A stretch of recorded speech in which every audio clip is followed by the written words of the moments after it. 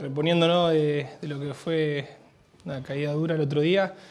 Eh, fue un golpe, un golpe duro, fuerte, que no nos esperábamos. Bueno, ya está, ahora hay que preparar de la mejor manera el partido con Godoy Cruz, ganarlo eh, y bueno, y esperar a esa ayuda. En su momento, cuando fue el triunfo frente al patronato de local, Rigamonti, por ejemplo, había dicho que era un envión desde lo anímico, pensando como un triunfo en la ilusión. Hoy es todo lo contrario, ¿no?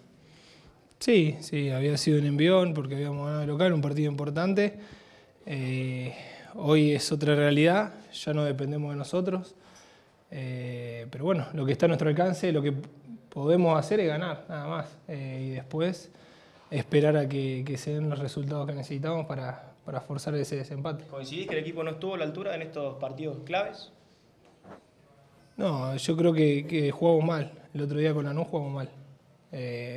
Con Racing nos hicieron un gol temprano, pero después equiparamos el partido, lo fuimos a buscar, tuvimos alguna que otra situación y era el puntero del campeonato creo que, que jugamos de igual a igual. Eh, pero el otro día con Lanús eh, se jugó mal, no, no dimos ese plus que necesitábamos para, para, lo que era el partido, para lo que significaba eh, y por eso es más doloroso ¿no? la, la derrota. Fede, se viene Godoy Cruz, dirigido por, por Bernardi, un entrenador que, lo conocen.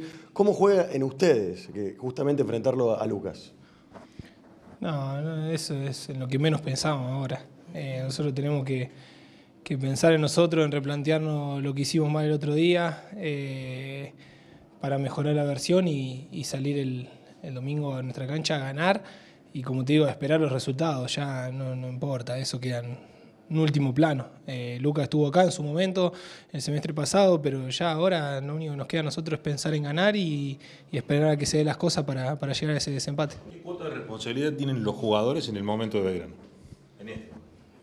Toda. Eh, durante este, este año somos, fuimos lo que, lo que entramos a la cancha y, y jugamos. Todos tenemos culpa igual, desde la cabeza del club hasta el último jugador que, está en el club, todos, los empleados, cuerpo técnico, todos somos culpables de, esta situación. Igual no, no, es momento de ahora de, echarse culpa, de lavarse las manos, eh, ni nada. Eh, hay que tratar de, terminar de la mejor manera, ganar y esperar, como te digo, el resultado que se nos dé. Eh, todavía tenemos esa, esa chance, esa pequeña chance, y hay que aferrarse a eso. Después ya en su momento será momento de balance, de análisis a quien le corresponda y de ver qué se hizo bien y qué se hizo mal, pero no sirve de nada ahora echar culpas.